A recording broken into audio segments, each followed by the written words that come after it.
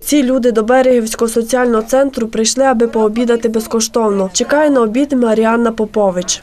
Ми беремо чотири порції. Ми отримуємо хліб, чай, а також перші та другі страви. Одна людина із сім'ї може взяти їжу додому для інших. Я маю хворого напівсліпого сина та хворого 19-річного внука, який важить трохи більше 40 кілограмів. У мене 1300 гривень пенсії, тому я вимушена приходити сюди.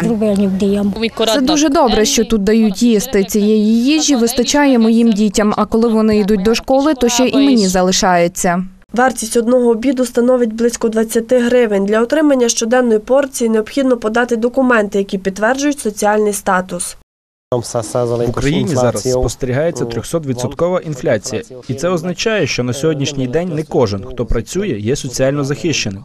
До прикладу, якщо візьмемо матір з трьома дітьми, яка працює за ті 4 тисячі гривень на місяць, то я вважаю, що така людина, на жаль, є соціально незахищена.